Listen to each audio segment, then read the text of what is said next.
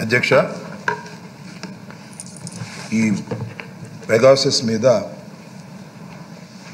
Short discussion ఎలా చేసినందుకు దానిలో మాట్లాడే అవకాశం నాకు కల్పించినందుకు ముందుగా నా హృదయపూర్వక ధన్యవాదాలు అధ్యక్ష.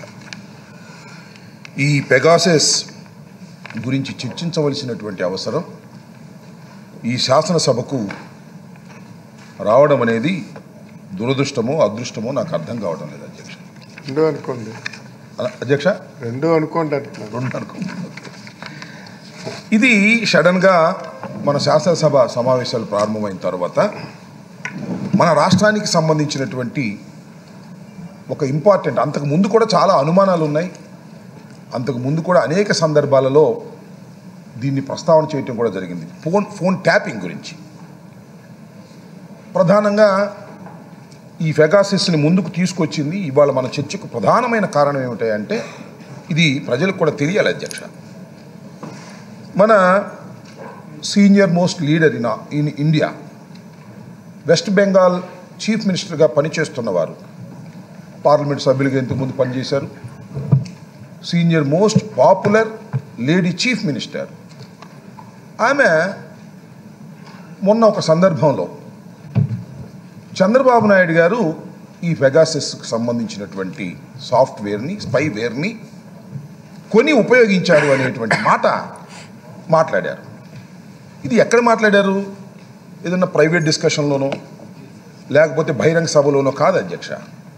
ఇది వెస్ట్ బెంగాల్ శాసనసభలో వారు on record floor of the హౌస్లో వారు మాట్లాడారు రికార్డు కూడా అయింది. దాని తర్వాత ఇది దేశవ్యాప్తంగా అన్ని పత్రికలు ప్రముఖంగా వేశాయి. మన రాష్ట్రంలో కూడా ఈ చివరికి వారి పత్రికలు కూడా శాసనసభలో అనలేదు కానీ ఎక్కడో చిన్న మాట రాసేటటువంటి ప్రయత్నం చేశారు. ఎందుకంటే it's a fact. Mamata Banerjee గారు లాంటి సీనియర్ మోస్ట్ చీఫ్ మినిస్టర్ శాసనసభలో అన్న తర్వాత నోబడి కెన్ అవాయిడ్ ఇది ఒక ముఖ్యమంత్రి మీద మాజీ ముఖ్యమంత్రి మీద మాట్లాడారు. ఆ తర్వాత అధ్యక్ష నాకు చాలా ఆశ్చర్యం వేసింది. ఇక్కడ అపోజిషన్గా ఉన్నటువంటి చంద్రబాబు నాయుడు గారిని ఆ విధంగా మాట్లాడితే ఇక్కడ ఈ రాష్ట్రంలో ఉన్నటువంటి ఏ పొలిటికల్ పార్టీ ఇంక్లూడింగ్ వైసీపీ కూడా ఎవరు మాట్లాడలేదు సాయంత్రం దాకా.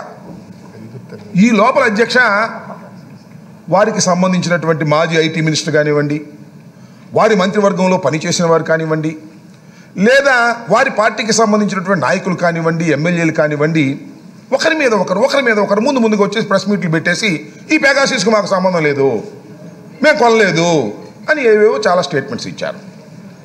అవి చూసిన తర్వాత ఎవరికైనా అర్థమైంది ఏంటంటే గుమ్మడికాయలు దొంగ ఎవరంటే భుజాలు దండుకునే కార్యక్రమం వీళ్ళు చేస్తున్నారు. ఏదో సంథింగ్ ఈజ్ దేర్ ఇంతకుముందు అపోజిషన్లో ఉన్నప్పుడు వైసీపీ అనేక ఆరోపణలు చేసినా ఆ రోజున మనం నమ్మలేదు. కానీ ఇవాళ మమతా బెనర్జీ గారు లాంటి సీనియర్ మోస్ట్ పొలిటీషియన్ ఒక ఆరోపణ చేసింది. దీన్ని వీళ్ళు గుమ్మడికాయలు దొంగ ఎవరంటే భుజాలు తడుపుకునేటువంటి కార్యక్రమంలో ఒకరి తర్వాత ఒకరు ప్రెస్ మీట్లు పెట్టే కార్యక్రమం చేస్తున్నారు కాబట్టి దీనిలో ఏదో వాస్తవం ఉన్నది అనేటువంటి అభిప్రాయం ప్రజల్లో కలుగుతున్నటువంటి సందర్భం అధ్యక్ష. ఇది ఎందుకు ఉపయోగించారు? ఏమిటి? చరిస్తే అధ్యక్ష చాలా బాధాకరమైనటువంటి అంశం. ఇప్పుడు ఈ స్పైవేర్లు లేదా ఇంటెలిజెన్స్ డిపార్ట్మెంట్ కానివ్వండి ఇప్పటికి కూడా ఫోన్ ట్యాపింగ్స్ అక్కడక్కడ జరుగుతూ ఉంటాయి. ఎప్పుడు జరుగుతూ ఉంటాయి? ఎందుకు జరుగుతూ ఉంటాయి? క్రిమినల్స్ని పట్టుకోవడం కోసమో సంఘ విద్రోహుల్ని పట్టుకొని వారిని శిక్షించేందుకో ఎవిడెన్స్ కోసమో జరుగుతాయి. కానీ అధ్యక్ష ఇక్కడ బాధాకరమైనటువంటి అంశం ఏమిటంటే ఈ పెగాసిస్ అనే స్పే స్పైవేరు ఒక్క రెండు మాటలు దాని గురించి చెప్పాలి అధ్యక్ష. ఇది ఇజ్రాయెల్కి సంబంధించినటువంటి కంపెనీ తయారు చేసినటువంటిది. దీనిలో ఉన్న గుణాలనండి సద్గుణాలనండి చెడ్డ గుణాలని ఏమిటంటే ఒక మిస్డ్ కాల్ ఇచ్చేస్తే చాలు. నా ఫోన్కి ఒక మిస్డ్ కాల్ ఇచ్చేస్తే ఆ సాఫ్ట్వేర్ దీనిలో ఎంటర్ అయిపోతుంది. ఎంటర్ అయిపోయిన తర్వాత మనం ఎప్పుడు ఏం మాట్లాడుకున్నా అది వాళ్ళు వినొచ్చు నెంబర్ వన్.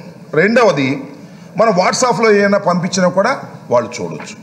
దీనిలో ఏదైనా డేటా ఉన్నా కూడా అది చూడొచ్చు. అంతేకాదు అధ్యక్ష బ్యాంక్ పాస్వర్డ్లు కానీ లేకపోతే మరొక పాస్వర్డ్లు కానీ అవి కూడా చూడొచ్చు. కెమెరా ఫుల్గా ఆన్ అయి ఉంటుంది. ఎప్పుడు మనం ఎక్కడ ఉన్నామో ఏం జరుగుతుందో ఏమిటో కెమెరాలో కూడా చూడవచ్చు. ఇన్ని సదుపాయాలతో వాళ్ళు తయారు చేసినటువంటి సాఫ్ట్వేర్ని ఇక్కడ కీలకమైన అంశం ఏంటంటే చంద్రబాబు నాయుడు గారు ఆయన అధికారంలో ఉన్నప్పుడు దాన్ని కొని దాన్ని ఉపయోగించాడు. ఎవరి మీద ఉపయోగించాడు? ఇక్కడ బాధాకరమైన అంశం ఏంటంటే ప్రత్యర్థి రాజకీయ పక్షాల మీద ఉపయోగించాడు. ఒక వైసీపీ మీదే ఉపయోగించాడా? లేదు అధ్యక్ష. భారతీయ జనతా పార్టీ మీద కూడా ఉపయోగించాడు. వాళ్ళు ప్రత్యర్థులు కాదు సహచరులే. సహచరులైనా కూడా వారి మీద ఉపయోగించారు ఎందుకు ఉపయోగించారని చెప్తున్నానంటే ఆ రోజున రెండు వేల పద్దెనిమిదిలో ఇక్కడ అధ్యక్షులుగా ఉన్న బీజేపీ అధ్యక్షులుగా ఉన్నటువంటి కన్నా లక్ష్మణ గారు అప్పుడు హోంమంత్రిగా ఉన్నటువంటి వారికి కేంద్రంలో హోంమం హోంమంత్రిగా ఉన్న వారికి ఆయన కంప్లైంట్ చేశాడు. ఏమని? అయ్యా చంద్రబాబు నాయుడు గారు మా ఫోన్లు అన్నీ కూడా ట్యాప్ చేస్తున్నారు. ట్యాప్ చేసి మా రహస్యాలు తెలుసుకోవడానికి ప్రయత్నం చేస్తున్నారు. దీని మీద ఎంక్వైరీ చేయమని. అందువల్ల నేను భారతీయ జనతా పార్టీ అంటున్నాడు అధ్యక్ష. అంతేకాదు అధ్యక్ష చివరికి వైసీపీకి సంబంధించినటువంటి వ్యక్తులు అందరి ఫోన్లు ట్యాప్ చేసే కార్యక్రమం చేశారు. వాళ్ళ వీక్నెసెస్ కనుక్కోవడానికి. అధ్యక్ష ఇక్కడ ఒక విషయాన్ని నేను చాలా స్పష్టంగా చెప్పాలి. చంద్రబాబు నాయుడు గారు అధికారంలో ఉన్నప్పుడు ఆయనకి చాలా సఫిషియంట్ మెజారిటీ ఉంది అధ్యక్ష. కానీ ఇరవై ముగ్గురిని ఈ పార్టీలో నుంచి వైసీపీ పార్టీలో నుంచి తెలుగుదేశంలోకి తీసుకున్నారు. అవసరం ఆయనకి? ప్రభుత్వం ఏమైనా పడిపోతుందా? కాదు. ఎందుకంటే ప్రత్యర్థి రాజకీయ పార్టీని భూస్థాపితం చెయ్యాలి. జగన్మోహన్ రెడ్డి గారిని మళ్ళా ఎదక్కోకుండా చెయ్యాలి. ఆయన కాన్ఫిడెన్స్ని దెబ్బతీయాలి. అరవై ఏడు మంది శాసనసభ్యులు నేను గెలిపించుకుంటే ఇరవై ముగ్గురు వెళ్ళిపోయారు. నా పని అయిపోతుంది అనేటువంటి ఒక మానసికమైన స్థితికి నెట్టాలి అనేటువంటి ఒక కుట్ర. సరే అఫ్ కోర్స్ జగన్మోహన్ రెడ్డి గారి గురించి వారికి తెలియదు కాబట్టి ఇలాంటి విషయాలు లెక్క చేయకోకుండా ఒంటరిగా పోరాడే తత్వం ఆయనకి ఉందనే విషయం ప్రజలు ఇప్పుడు అందరూ గమనించారు. ఇరవై ముగ్గురు అంది వెళ్ళిపోయినా వెళ్ళిపోతే వెళ్ళిపోయాలన్నా చూద్దాం అనేటువంటి పద్ధతుల్లోనే పనిచేశారు తప్ప ఏ రోజున అయ్యో వెళ్ళిపోతున్నారే? ఏం జరుగుతుంది? ఏమిటి అని గందరగోళ పడినటువంటి సందర్భమే లేదు. మీరు ఏందబ్బా ఇంతమంది వెళ్ళిపోతున్నా? ఈయన అలాగే పాదయాత్ర చేసుకుంటూ వెళుతున్నాడు. ఏమవుతాం ఏమిటని మేము భయపడిన సందర్భాలే ఉన్నాయి తప్ప ఈ సందర్భం కాబట్టి నేను చెప్తున్నా అధ్యక్ష. ఈ ఇరవై ముగ్గురిని తీసుకోవడానికి కారణం లేదు. కేవలం జగన్మోహన్ రెడ్డి గారి టీముని వైఎస్ఆర్ కాంగ్రెస్ పార్టీని చిందర వందర చేయాలనేటువంటి ఒక కక్షతో తప్ప మరొకటి కాదు అని మనం చేస్తున్నాం అధ్యక్ష. అయితే ఇక్కడ రెండు విషయాలు చెప్పాలి. చంద్రబాబు నాయుడు గారి రాజకీయ నేపథ్యం. ఏమిటి చంద్రబాబు నాయుడు గారి రాజకీయ నేపథ్యం? ఫైట్ చేసి గెలుస్తాడా? లేదు ఎన్నికల్లో పోరాడి గెలుస్తాడా? లేదు. ఎదుటివాడి బలహీనం తీసుకోవటమో లేకపోతే వారిని దొంగ దెబ్బ తీయటమో కుట్రలు చేయటమో లేకపోతే ఇద్దరు ముగ్గురిని భుజాన చేయి వేసుకొని వారి భుజాల మీద ఎక్కి నడవటమో తప్ప స్ట్రైట్గా రాజకీయాలు చేసి అధికారంలోకి వచ్చినటువంటి సందర్భం చంద్రబాబు నాయుడు గారి జీవితం మొత్తంలో ఒక్కసారి కూడా లేదనే విషయాన్ని చెప్పడానికి సందేహించడం లేదు అధ్యక్ష. ఎందుకంటే వారు అనేక సందర్భాల్లో పోటీ చేశారు అనేక సందర్భాల్లో అధికారంలోకి వచ్చారు అధికారం నుంచి పోయారు. కానీ అధ్యక్ష మొన్న మాత్రం కేవలం ఒంటరిగానే వచ్చారు. ఎన్ని వచ్చిన అధ్యక్ష? ఇరవై మూడు సీట్లు మాత్రమే వచ్చాయి. ఇవాళ మళ్ళా వాళ్ళని వెళ్ళి కలుపుకోవడానికి ప్రయత్నం చేసేటటువంటి ప్రయత్నం చేస్తున్నారు. సరే అది వేరే అంశం అనుకోండి. ఇక్కడ ఎప్పుడూ కూడా కుట్రలు కుతంత్రాల ద్వారా మాత్రమే తన అధికారాన్ని నిలుపుకోవాలనో తన అధికారాన్ని పొందాలనో ప్రయత్నం చేసేటటువంటి ఒక రాజకీయ ఎత్తుగళ్ళ కలిగినటువంటి మనిషి. ఇతన్ని అంటారు జగన్మోహన్ రెడ్డి గారు లాంటి వాళ్ళని రాజశేఖర రెడ్డి గారు లాంటి వాళ్ళని ఎన్టీ రామారావు గారు లాంటి వాళ్ళని ఏమంటారంటే దేర్ ఆల్ మాస్ లీడర్స్ వాళ్ళకే ఓటేస్తారు డైరెక్ట్గా. రాంబాబు గారికి ఓటేసామని అనుకోరు. మేము జగన్మోహన్ రెడ్డి గారికి ఓటేస్తున్నాము అని చెప్పేసి రాంబాబు గారిని గెలిపిస్తారు గుడివాడ అమర్నాథ్ని గెలిపిస్తారు. కానీ చంద్రబాబు నాయుడు గారు అలాంటి మాస్ లీడర్ కాదు. ఏం లీడర్ అయినా మ్యానిపులేటర్ అనేది ముద్ర నేను ఇవాళ కొత్తగా శాసనసభలో చెప్తున్నటువంటి అంశం కాదు. విషయాలన్నింటినీ కూడా మేనేజ్ చేసుకుంటూ అధికారంలోకి రావడానికి ప్రయత్నం చేసే వ్యక్తి ఎన్నిసార్లు అధికారంలోకి వచ్చినా విషయాలను మేనేజ్ చేస్తూ మోసం చేస్తూ దగా చేస్తూ వెన్నుపోట్లు పొడుస్తూ ఇలాంటి పెగాసెస్ లాంటి వాడి అధికారంలోకి వచ్చినటువంటి సందర్భాలే తప్ప డైరెక్ట్గా ఫైట్ చేసి అధికారంలోకి వచ్చిన సందర్భాలు లేవు అనేది చరిత్ర చెప్పినటువంటి సత్యం అధ్యక్ష ఇక్కడ ఇంకొక వ్యక్తి పేరు కూడా పేరు ప్రస్తావన చేయడం నాకు ఇష్టం లేదు. ఎందుకంటే దిస్ ది అగస్ట్ హౌస్. వ్యక్తుల పేర్లు ప్రస్తావన చేయటం సమంజసం కాదు. అప్పుడు దెన్ ఇంటెలిజెన్స్ చీఫ్గా ఉన్నటువంటి వ్యక్తి నేను అనేక సందర్భాల్లో అప్పుడు శాసనసభ్యుడిని కాకపోయినా నేను చెప్పాను అధ్యక్ష. ఆయన ప్రభుత్వ ఉద్యోగిలాగా పనిచేయలేదు. కాకి బట్టలు వేసుకున్న వ్యక్తిలాగా పనిచేయలేదు. ఆయన కేవలం పచ్చ చొక్కా వేసుకున్నటువంటి తెలుగుదేశం లీడర్లాగా ఆ రోజున పనిచేశారు అని ఆ రోజునే చెప్పాం. ఇవాళ చెప్పింది కాదు. ఆ తర్వాత వైసీపీ ప్రభుత్వం వచ్చింది. వారి మీద యాక్షన్ తీసుకునే కార్యక్రమాలు చేస్తున్నారు. దానికి ఎక్కడ కూడా న్యాయ వ్యవస్థలు కూడా ఎస్ శభాష్ ముందుకు పో అనేటువంటి సందర్భాలే తప్ప మరొకటి కాదు. ఎంక్వైరీ జరుగుతా ఉన్నది. నేను ఎందుకు ప్రస్తావన చేస్తున్నానంటే దెన్ అప్పుడు ఉన్నటువంటి ఇంటెలిజెన్స్ చీఫ్ ఇలాంటి కార్యక్రమాలన్నీ చేశారు. ఎమ్మెల్యే దగ్గర నా దగ్గర కూడా ఒకసారి అధ్యక్షుడు నేను ఎమ్మెల్యే కాకపోయినా ఒక మా కులానికి చెందినటువంటి ఒక డిఎస్పీ వచ్చాడు. నేను రాంబాబు గారు ఏంటి సంగతి? మీకు ఆర్థికంగా ఎలా ఉంది? ఏంటి? అంటే ఆర్థికంగా బాగా దెబ్బతినిపోయామండి ఏం లేవండి అంటాం కదా. అంటే ఆర్థికంగా సహాయం చేయడానికి మేము ఉన్నాం అన్నట్టు అనే పద్ధతిలో మాట్లాడితే మీరు ఎవరిని పంపించారో మీకు ఎవరు ఆదేశించి పంపించారో మాకు తెలుసు. కాబట్టి అలాంటి ప్రయత్నాలు ఏం చేయకండి. మిమ్మల్ని ఆ ఇంటెలిజెన్స్ చీఫ్ పంపించుంటాడు. "ఆ, లేదు సార్ లేదు సార్ ఊరిని మనోళ్ళని వచ్చామండి. ఇలా ఇలా ట్రిక్కులు వేస్తూ వచ్చి శాసనసభ్యుల్ని కానీ వైసీపీ నాయకుల్ని కానీ బుట్టలో వేసుకొని తద్వారా జగన్మోహన్ రెడ్డి గారి పార్టీని ఏదో ఒక విధం చేయాలనేటువంటి ప్రయత్నం చేసినటువంటి సందర్భాలు చాలా కోకొల్లలుగా ఉన్నాయనేది నాకు తెలుసు కాబట్టి ఎక్స్పీరియన్స్ కాబట్టి నేను చెప్తున్నాను అధ్యక్ష. ఈ విధంగా ఒక రాజకీయ పార్టీని దెబ్బతీసే కార్యక్రమం చేస్తున్నారు. ఇవాళ చాలామంది వాళ్ళు కూడా అంటున్నారు. నేను ఇవాళ ఇంత ప్రాధాన్యత ఎందుకంటే ఇది వైసీపీనో లేదా రాష్ట్రంలో ఉన్నటువంటి నాయకులు ఈ పెగాసిస్ని చంద్రబాబు నాయుడు గారు కొన్నారు అంటే పెద్ద ఆశ్చర్యం లేదు. లేదా రాజకీయ ప్రత్యర్థులు కాబట్టి అన్నారని పక్కన నెట్టేయచ్చు. మమతా బెనర్జీ గారు అన్నారు ఎవరి మీ? ఏమన్నా మాకేమన్నా ఫ్రంట్లో ఉందా? చంద్రబాబు నాయుడు గారికి ఏమన్నా శత్రువా? రాజకీయ శత్రువా? కాదే. ఒక విధంగా చెప్పాలంటే అటు ఇటు వెతికి చూస్తే చంద్రబాబు నాయుడు గారికి రాజకీయ మిత్రులుగానే ఉండేటువంటి అవకాశం ఉంది. ఎందుకంటే కేంద్రంలో ఉన్నటువంటి భారతీయ జనతా పార్టీకి వ్యతిరేకంగా పోరాడినటువంటి కూటమిలో చంద్రబాబు నాయుడు గారు ఉన్నారు మమతా బెనర్జీ గారు ఉన్నారు. మరి ఆమె వీరి మీద చేయవలసినటువంటి అవసరం ఏమిటి? ఫ్యాక్ట్ లేకోకుండా. వాస్తవం లేకోకుండా ఈ పెగాసిస్ అనే కంపెనీ వారితో సంప్రదించినప్పుడు వారు బహుశా చెప్పుంటారో లేకపోతే మరొకటో మరొకటో వారిని ఏమంటలా? మమతా బెనర్జీ గారిని అంటలా? అంతా మామూలు అనేటువంటి కార్యక్రమం. ఆయన ఐటీ మంత్రి గారు వచ్చారు. ఆయన ఎవరో నేను ప్రత్యేకంగా చెప్పేసి వాళ్ళ అబ్బాయి. ఆయన వచ్చి ఆ రోజున సహవాంగ్ గారు డీజీపీగా ఉన్నప్పుడు ఒక ఆర్టీ యాక్ట్ కింద ఒక అప్లికేషన్ పెట్టారు. ఇది ముందుగానే ప్లాన్ కానీ ఏమండి? ప్రభుత్వం ఆ రోజు ప్రభుత్వం ఏమన్నా ఇలాంటివి కొన్నదంటే ఇలాంటివి కొనలేదు అన్న. ఇలాంటివి కొంటారండి ప్రభుత్వాలు? చంద్రబాబు నాయుడు గారు ఇలాంటివి కొనిపిస్తాడా ప్రభుత్వం సొమ్ముతో? మీ దగ్గర ఎన్ని కోట్లు ఉన్నాయి ఎన్ని లక్షలు ఉన్నాయి ఎన్ని లక్షల కోట్లు ఉన్నాయి ఎంతమంది ఎమ్మెల్యేలకు ఎన్ని డబ్బులు ఇచ్చి కొన్నారు? ఇవన్నీ నిరూపణ అయ్యాయా? కాదే. కానీ ఇది ఇరవై ఐదు కోట్లు ముప్పై కోట్లు కొని తన సొంత మనుషులుగా ఉన్నటువంటి వారు.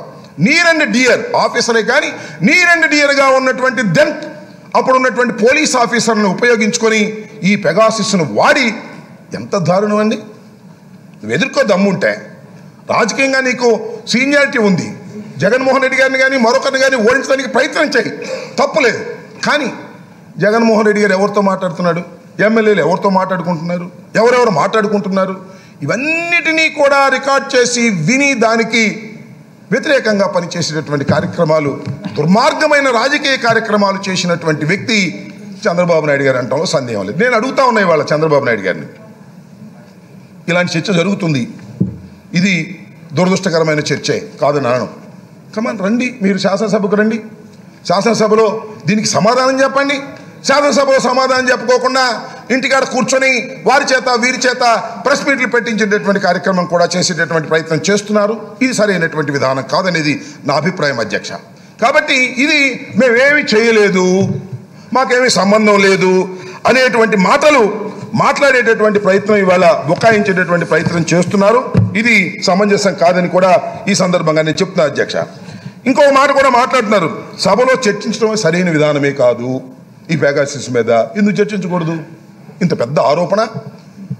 ఒక రాష్ట్రానికి ముఖ్యమంత్రిగా ఉన్నటువంటి మమతా బెనర్జీ గారు ఆరోపణ చేసిన తర్వాత ఈ శాసనసభలో దీని మీద చర్చ జరగవలసినటువంటి అవసరం నూటికి నూరు పాళ్ళు ఉంది. చర్చే కాదు. అవసరమైతే సూటబుల్ ఎంక్వైరీ చేసి వాస్తవాలను బయటకు తీసుకురావాల్సినటువంటి బాధ్యత ఇప్పుడున్న ప్రభుత్వానికి ఉన్నది అనేది నా అభిప్రాయం అధ్యక్ష. దీనికోసమే అనేక సందర్భాల్లో మేము మాట్లాడుతూ వచ్చాం. ఇంతకు ముందు కూడా మాట్లాడుతూ రావడం జరిగింది. కాబట్టి అధ్యక్ష వాస్తవాలను గమనించేందుకు ఈ ఎంక్వైరీ ఒకటి చేయాల్సినటువంటి అవసరం ఉంది ప్రభుత్వం. ఇవాళ ఇంత పెద్ద ఎత్తున మరి ప్రచారం జరుగుతూ ఉంది ఈ రాష్ట్రంలో దేశంలో. చంద్రబాబు నాయుడు గారు ముఖ్యమంత్రిగా ఉన్న సమయంలో పెగాసిస్ అనే దాన్ని ఒకదాన్ని కొని దాని ద్వారా ప్రత్యర్థుల్ని దెబ్బతీయటం కోసం దాన్ని ఉపయోగించేటటువంటి కార్యక్రమం చేశారనే విషయాన్ని కూడా మరి సర్వ అన్ని ఛానల్స్ కూడా చెప్తూ ఉన్నాయి. అన్ని ప్రాంతాల్లో కూడా ఇది ప్రచారం జరుగుతూ ఉంది. కాబట్టి దీని మీద ఎంక్వైరీ చేయవలసినటువంటి అవసరం ఉన్నది. అందువల్ల నేను ఈ ప్రభుత్వాన్ని కోరుతున్నాను అధ్యక్ష. మీరు ఈ శాసనసభ ద్వారా కోరుతున్నాను అధ్యక్ష. తక్షణమే దాని మీద ఒక ఎంక్వైరీ వేసి వాస్తవాలను ప్రజలకు చెప్పవలసినటువంటి బాధ్యత ఉంది. వాళ్ళు నేరాలు చేస్తే ఆ నేరాలని బట్టబయలు చేయవలసినటువంటి అవసరం కూడా ఉందని ఈ సందర్భంగా నేను చెప్తున్నా అధ్యక్ష. మరి ఇంకొక విషయం కూడా నేను ఆ నోట ఆ నోట విన్నాను. ఎంతవరకు వాస్తవమో నాకు తెలియదు కానీ అప్పటి ఇంటెలిజెన్స్ చీఫ్ బహుశా ఆయన సస్పెన్షన్లో ఉన్నాడు ఏదో యాక్షన్లో ఉన్నట్టున్నాడు ప్రభుత్వం యాక్షన్ తీసుకుంటా ఉన్నది. ఆయన కూడా న్యాయస్థానాలకు వెళ్ళారు న్యాయస్థానాల్లో కూడా అనుకున్నంత రిలీఫ్ రాలేదు.